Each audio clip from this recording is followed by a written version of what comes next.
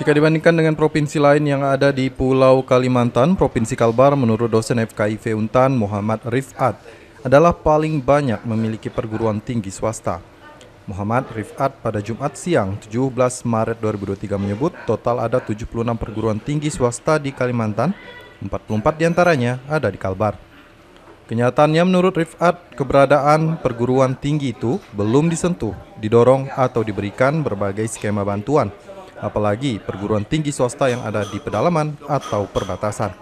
Jika saja keberadaan perguruan tinggi swasta tersebut bisa dimanfaatkan pemerintah daerah baik provinsi maupun pemerintah kabupaten kota di Kalbar, maka dia yakin nilai indeks pembangunan manusia atau IPM akan terdongkrak. Tanya itu perguruan tinggi swasta yang dengan kekhususan keilmuan, kajian atau kompetensinya bisa-bisa saja turut dilibatkan dalam implementasi pembangunan daerah. Nah, di dalam faktanya, fakta yang kita lihat, kita dengar, kita amati bahwa pemerintahan tingkat provinsi ataupun kabupaten kota belum secara eksplisit memasukkan program-program pembangunan pendidikan tinggi di Kalbar ini sebagai contoh itu ada 44 perguruan tinggi swasta. Hmm tetapi yang membina, mengendalikan, merekomendasikan lembaganya ada di Banjarmasin. Hmm. Sementara di seluruh Kalimantan kita relatif paling banyak. Ya. Kalimantan ada 76 perguruan tinggi swasta. Hmm. Kalbar aja ada 44. Sisanya tersebar di Kalsel, ya. Kaltim, Kalten, dan Kaltara. Kaltara juga baru satu. Hmm.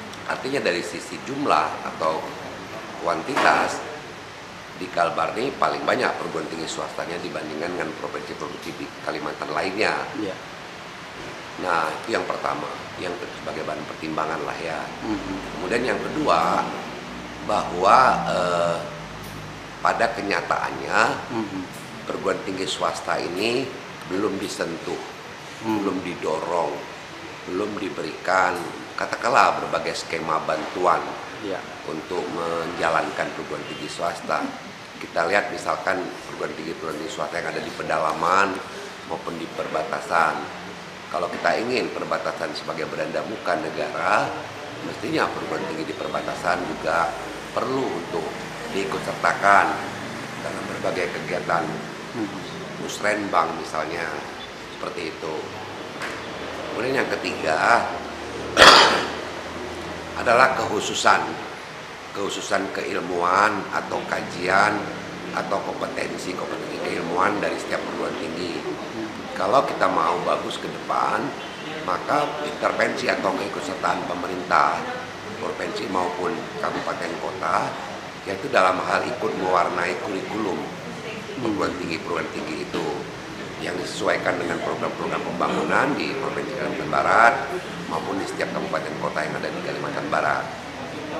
Itulah mungkin cara-cara penting bagi kita untuk mengangkat indeks pembangunan manusia di Kalimantan Barat.